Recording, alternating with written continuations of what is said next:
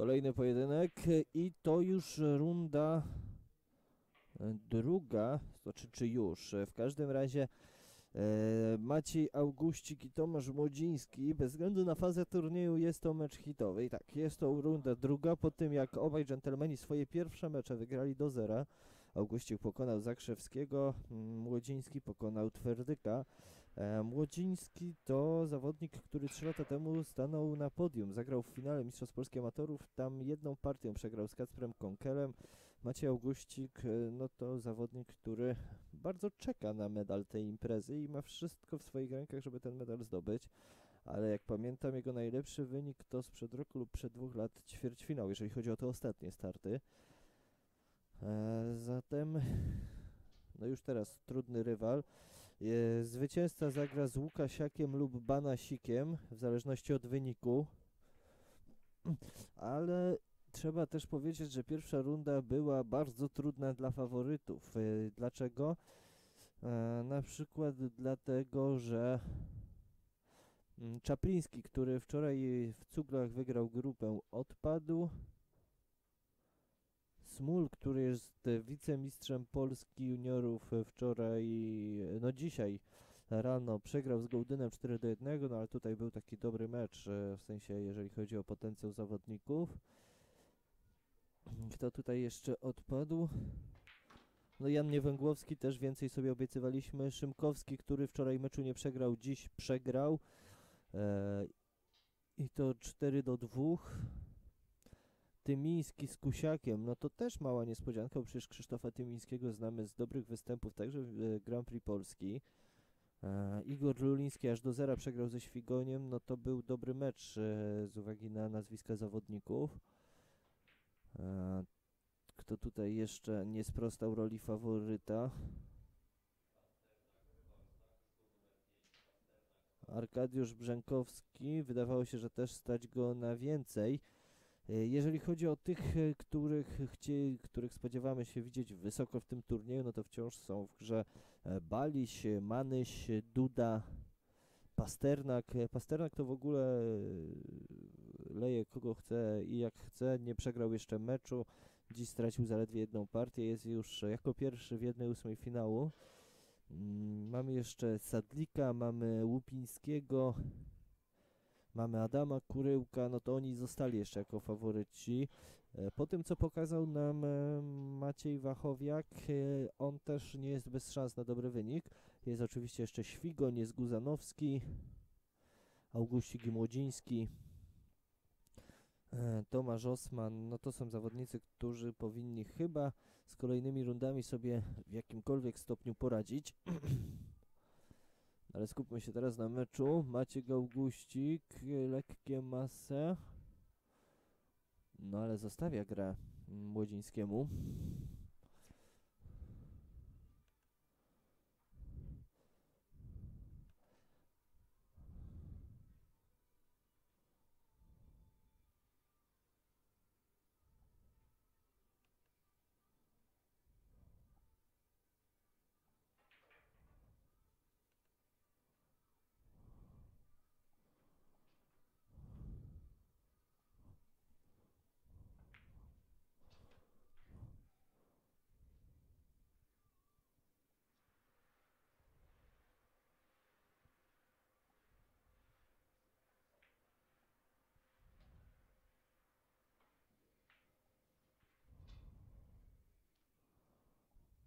Mamy pytanie o wynik meczu Dobrowolski-Mokrzycki, ale nie jestem w stanie udzielić żadnych informacji, jeżeli chodzi o ten pojedynek. Widziałem, że faktycznie on trwał, ale przez myśl mi nie przeszło, żeby e, rzucić okiem na tablicę wyników. Rozległy się jakieś brawa, ale to na pewno nie w kwestii meczu Dobrowolski-Mokrzycki, bo e, ten mecz rozgrywany jest w części klubu, z której nie słyszelibyśmy braw.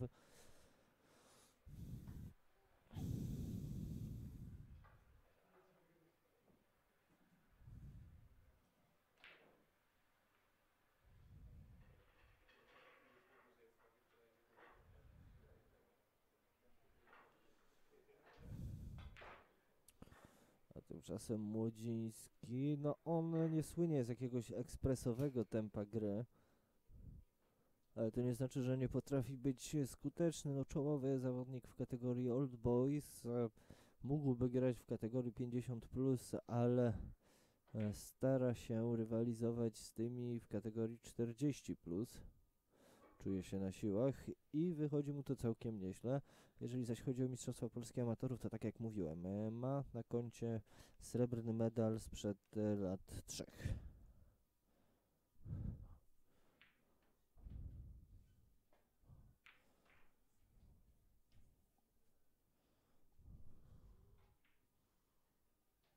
Ale Augustik dostaje swoją szansę i raczej ją wykorzysta, bo właśnie, już tylko ósemka mu została, ósemka na 1 do 0.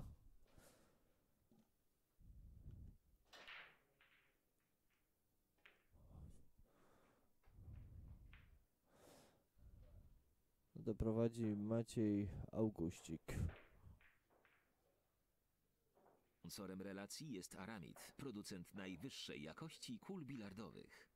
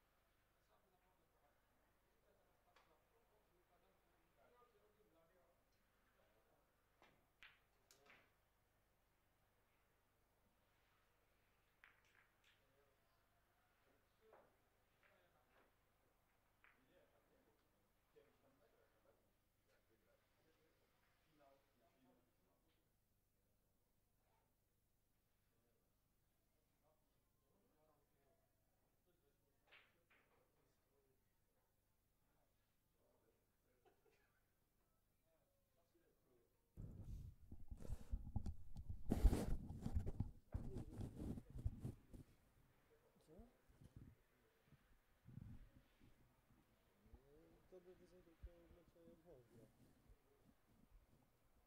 To nie jest jak legal, widzę. Do końca, po końca, ale dostaję w pierdol.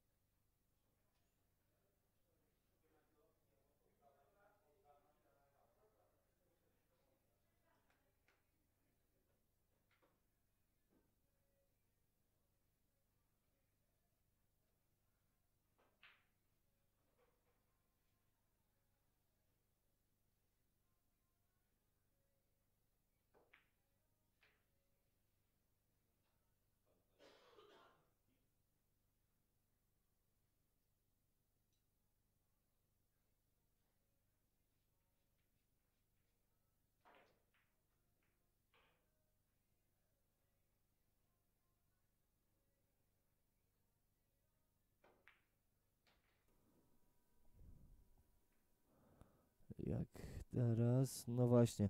E, Trudno powiedzieć, żeby Młodziński grał dobrze w tym meczu, bo pojawiają się błędy, także takie jak ten, takie trochę niezrozumiałe zagranie, taka próba pozycjonowania wydaje się przekombinowana, wymuszająca konieczność zagrania od bandy, niewiele zabrakło, ale dostanie kolejną szansę Maciej Auguścik, no to spójrzmy teraz na układ bil pełnych. E, Brązowa i różowa ponad wszelką wątpliwość problematyczne. Jest od czego zacząć, czyli od bili niebieskiej. Ale nie ma tutaj kąta, żeby już teraz jakimś takim szalonym zagraniem wpadać e, w żółtą, brązową i różową. Pytanie tylko, czy to potrzebne. Żółta wydaje się, że przechodzi, nawet na pewno przechodzi do prawej dolnej kieszeni. Gdyby udało się na nią wypozycjonować, no to wtedy można by można by w jakiś konstruktywny sposób problem rozwiązać, ale zdaje się, że jakiegoś innego rozwiązania szuka Maciej Auguścik.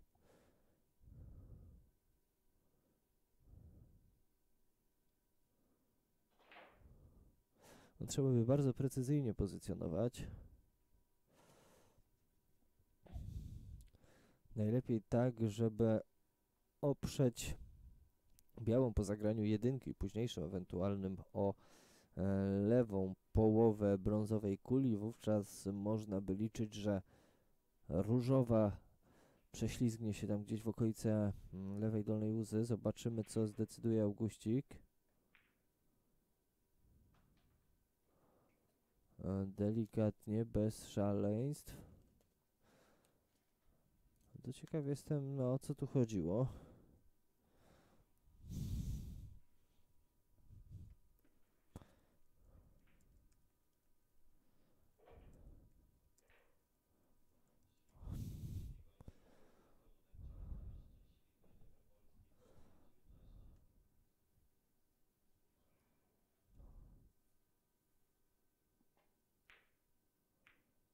Szukał sejfa Auguścik. Dziwię się, że nie zaryzykował. Szkoda, że za nie, nie zaryzykował, bo teraz e, wcale nie, jest, nie będzie łatwiej uporać się z różową i brązową.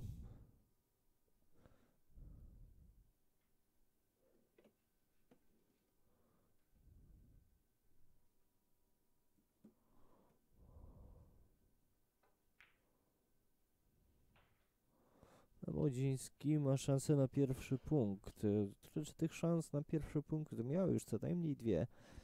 I z żadnej nie był w stanie skorzystać. Czy tym razem będzie inaczej? Nie ma podstaw, by zakładać, że, że coś pójdzie nie tak. Chociaż y, identyczna sytuacja dotyczyła poprzednich jego prób.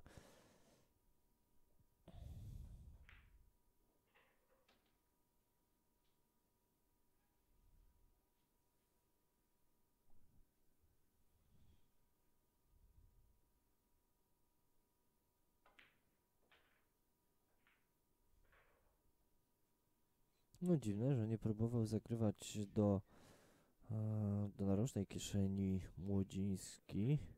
Miałby wtedy większy komfort pozycjonowania. No właśnie, proszę zwrócić uwagę. Najgorzej to się potoczyło teraz jak tylko mogło. Tak się przynajmniej wydaje. Może zobaczymy to z prawej kamery, by upewnić się, czy ósemka przechodzi. Nie przechodziła, musiał zagrywać od bandy. No źle gra dzisiaj Tomasz Młodziński. Eee, przede wszystkim dziwne to pozycjonowanie do piętnastki, wymuszające próbę zagrania z dolną rotacją. Ta próba całkiem niezła, gdyby udało się ominąć brązową kulę, ale tak doświadczony zawodnik powinien był wiedzieć, że e, ciężko będzie tę brązową ominąć. Ale fatalnie teraz Augustik.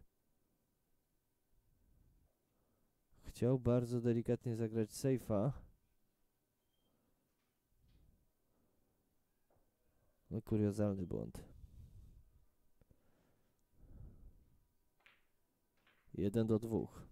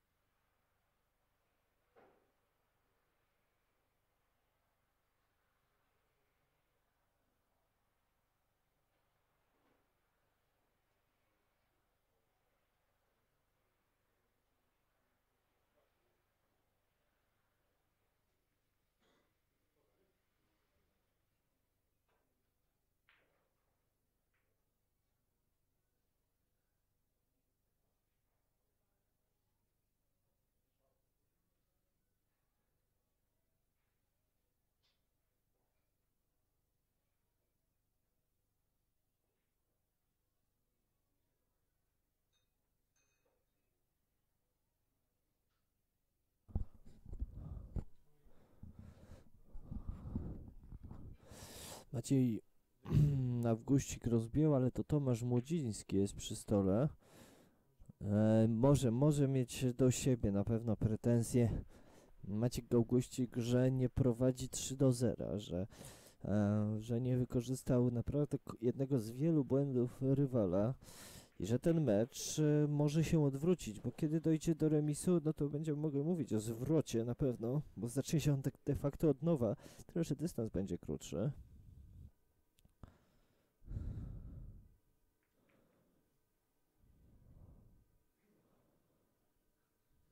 Zaraz.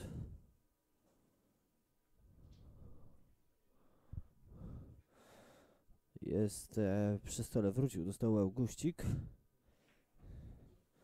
Co tutaj chciał zagrać Młodziński?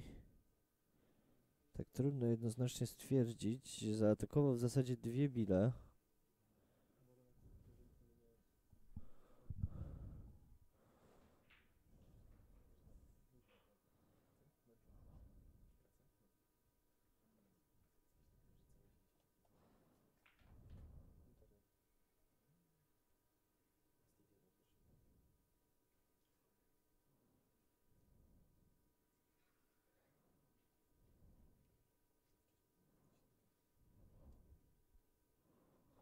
Zajrzyjmy może na inne stoły, zobaczmy czy cokolwiek zmieniło się w innych pojedynkach. Łupiński pokonał siódmiaka, to już teraz widzę.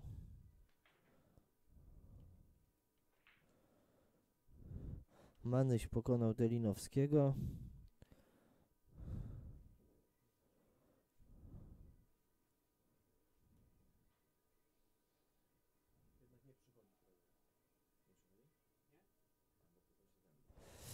Zakończyły się też e, pojedynki z pierwszej rundy, te, które najdłużej czekały na to, żeby się rozpocząć, a więc Muklewicz pokonał 4 do 1 Bierzgalskiego, a Grygierczyk e, 4 do 0 pokonał Terensa.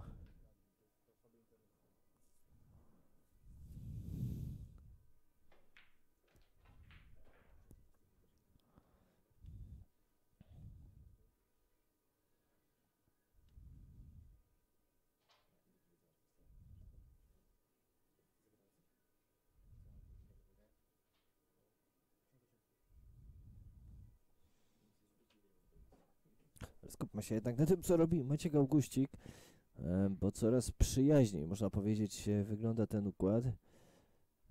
Tyle tylko, że po raz kolejny no, Augustik e, nie skłonny do ryzyka, tak by się mogło wydawać w tym pojedynku. Nie wiem, czy tak przez całą fazę grupową przebrnął, a także przez pierwszą rundę, ale e, za każdym razem, kiedy odrobina fantazji mogłaby przynieść dobrą, taką komfortową pozycję, on decyduje się na zagranie mniej finezyjne, takie prostsze, które generuje problemy. I tak samo było w tym przypadku. Cały ten ciąg przyczynowo-skutkowy mogliśmy zaobserwować na podstawie ostatnich e, dwóch zagrań. Najpierw zamiast poszukać intensywnej dolnej rotacji, pociągnąć e, cofkę e, od bandy, to zagrał do przodu. E, Teraz e, efekt jest taki, że zderzył się niepotrzebnie z bilami, odciął sobie możliwość e, wbicia.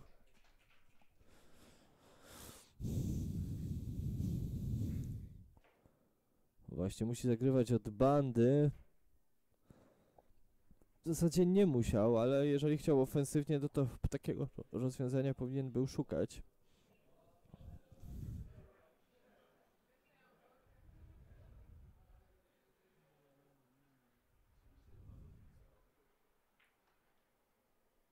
I dostaje na pewno Młodziński nieco więcej szans niż na to zasługuje swoją postawą.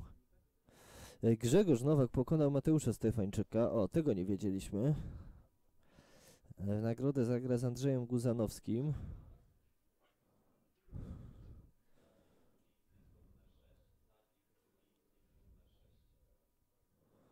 No brawo, już ma Grzegorz Nowak 17 miejsce, więc takie już możemy powiedzieć, że takie bardzo dobre przetarcie y, za nim na pewno, jeżeli chodzi o Mistrzostwa Polski e, biznesu. A kto wie, przecież wykluczyć tego nie możemy.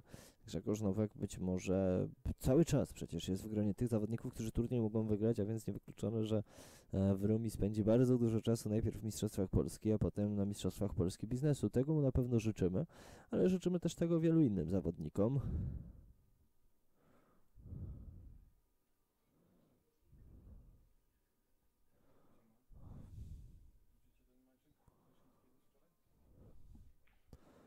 A tymczasem 2 2 do 2 to bardzo prawdopodobny scenariusz, ale jeszcze dalekie od realizacji, wziąwszy przede wszystkim pod uwagę, a jak wygląda pozycja do bili brązowej. No zostawia sobie kątę na trójce trochę mm, młodziński, ale będzie musiał być bardzo precyzyjny i pokusić się o dynamiczne zagranie. Jest dość dynamicznie i jest nawet zbyt precyzyjny, chciałoby się powiedzieć, albo zbyt dynamiczny, jak kto woli. Opcje są dwie, albo to jest wygod- wyjątkowo niekorzystna sytuacja, albo na tyle korzystna, że wystarczy zadrzeć kij i zagrać przed siebie, a brązowa wpadnie. No powiedzmy, że było dobrze.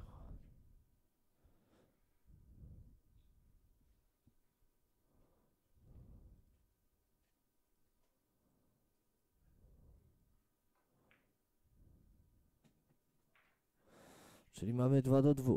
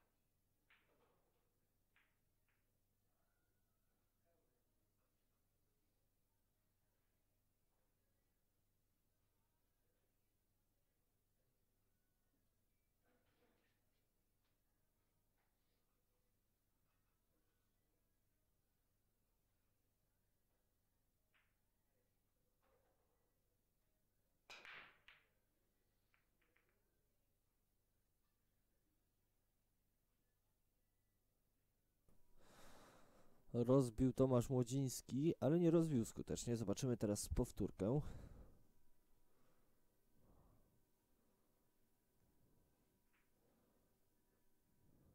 I trudno też powiedzieć, żeby te bile jakoś w sposób e, znakomity się rozbiegły. E, dobrze zatrzymana, raczej w dobrym miejscu zatrzymana biała bila. Łupiński pokonał siódmiaka, a Sadlik pokonał Gołdyna. Gołąb natomiast Balisia, czyli już mamy jedną, dwie, trzy. Trzy pełne pary jednej ósmej finału. No chyba Sadlika z Łupińskim, jeżeli nie zdarzy się jakiegoś e, wcześniej im rozpocząć, warto by było pokazać na stole telewizyjnym. E, Było pytanie o Dobrowolskiego i Mokrzyckiego, ale tutaj nadal może być e, bez wieści.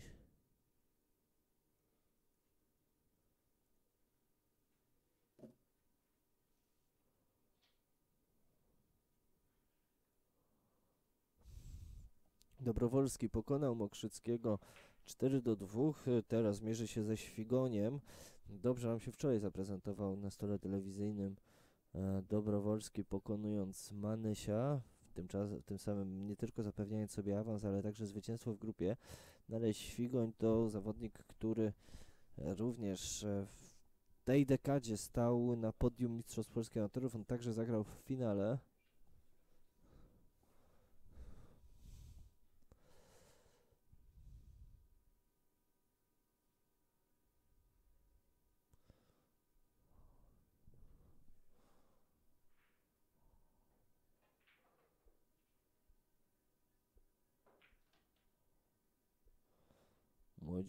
Tymczasem przed szansą na wyjście na prowadzenie.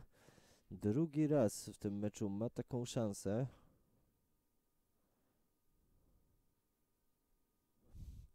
Pierwszy raz miał oczywiście przystanie 0 do 0.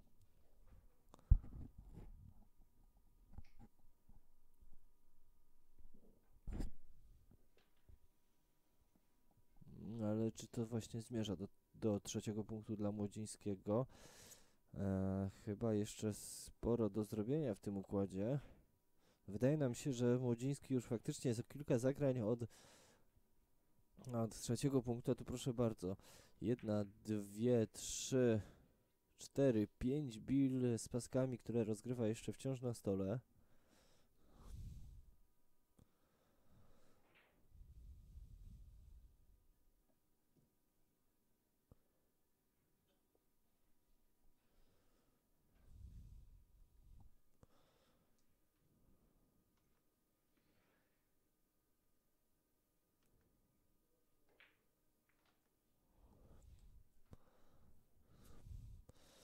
E, Banasik e, jest kolejnym zawodnikiem, który odpadł. Przegrał 4 do 1 z Łukasiakiem.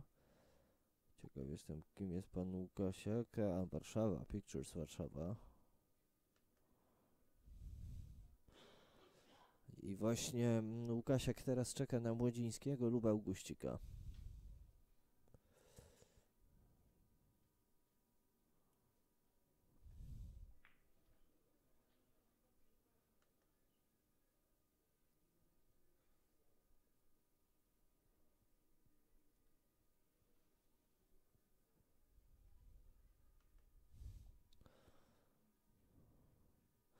Sadlika i Łupińskiego Państwu nie pokażę, bo ten mecz już się rozpoczął, a szkoda.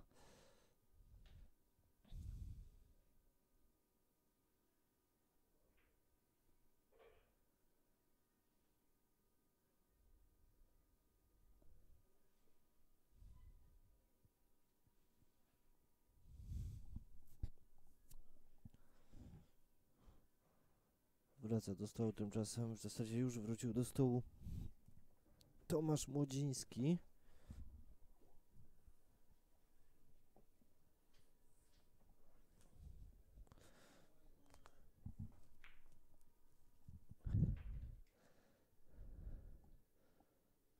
I co, jaki pomysł ma na trzynastkę i piętnastkę? Sam zachodzę w głowę.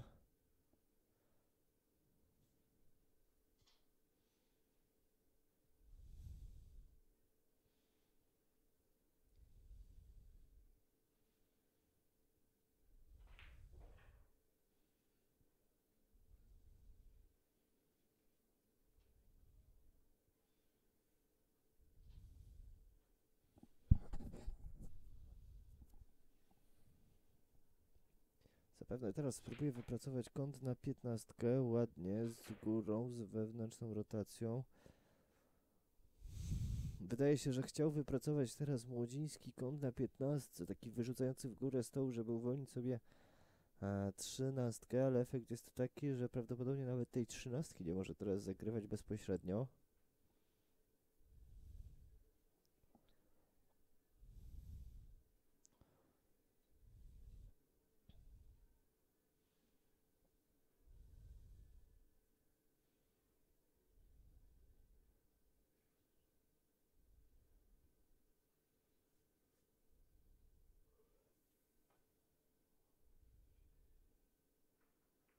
To jest faul.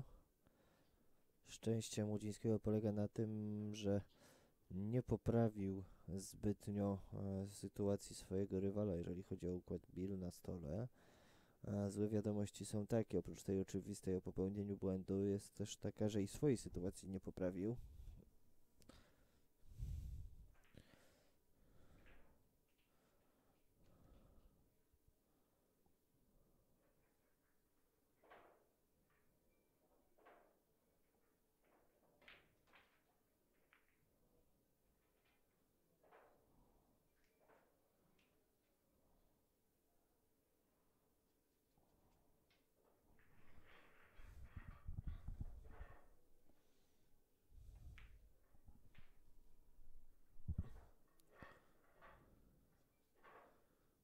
Ale proszę bardzo, Augustik jakiś pomysł znalazł.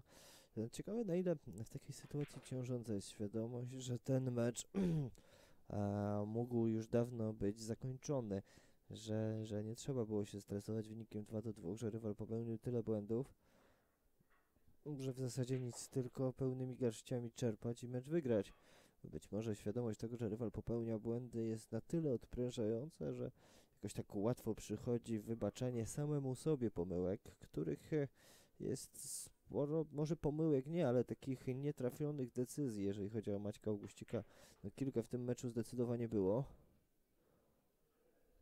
No teraz też ma więcej konta na tej trójce niż mu trzeba.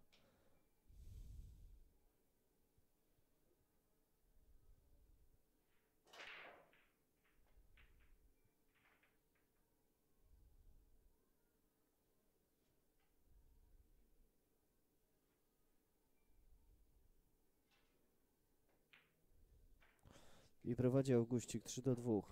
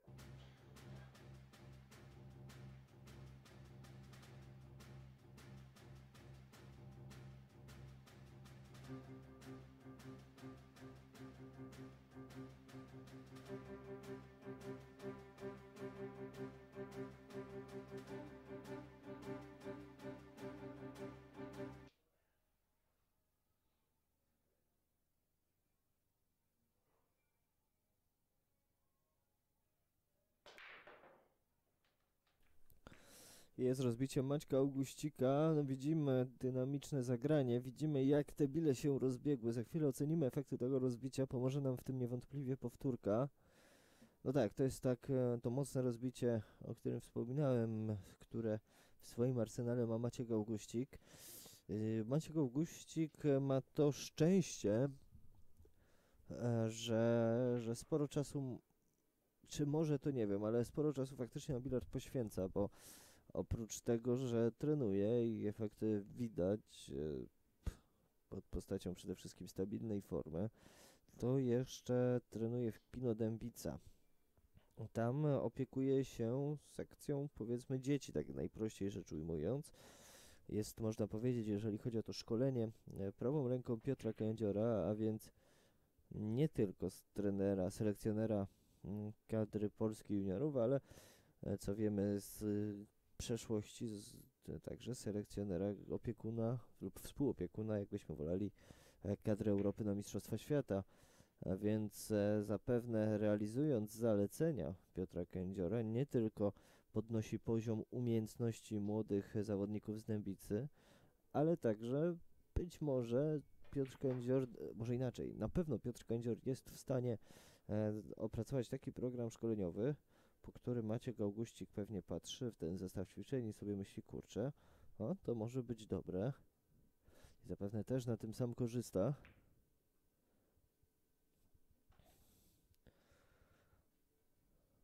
Tak to sobie wyobrażam. To jest bardzo prawdopodobny scenariusz. Być może będzie okazja porozmawiać z jednym lub drugim dżentelmenem e, na temat tego, w jaki sposób e, te treningi z młodzieżą, e, realizowanie programu szkoleniowego Piotra Kędziora pomaga Maćkowi Augustikowi, ale to jest wątek na później, bo zdaje się, że partii z kija doczekamy się od Maćka Augustika. A przypomnijmy, na zwycięzcę tego meczu e, czeka Piotr Łukasiak.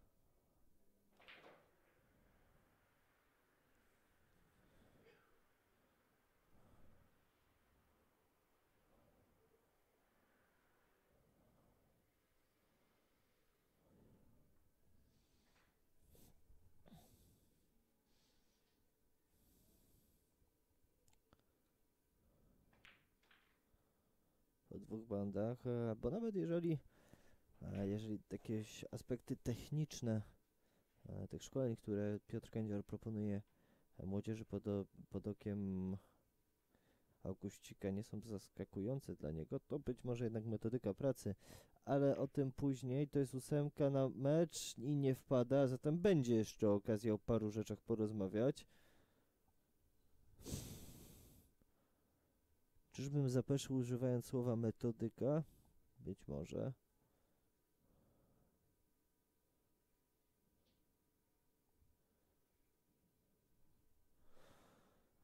No trudno sobie wyobrazić, że z tej sytuacji nie skorzysta Młodziński. I trudno też sobie wyobrazić, że będzie się spieszył. Próbował stawiać sejfa, zostawia dostęp do ósemki. Co może tutaj zrobić Augustik? E, No teoretycznie adresować kieszeń do prawej na różnej kieszeni. E, I nie wydaje się to być takim bardzo złym pomysłem.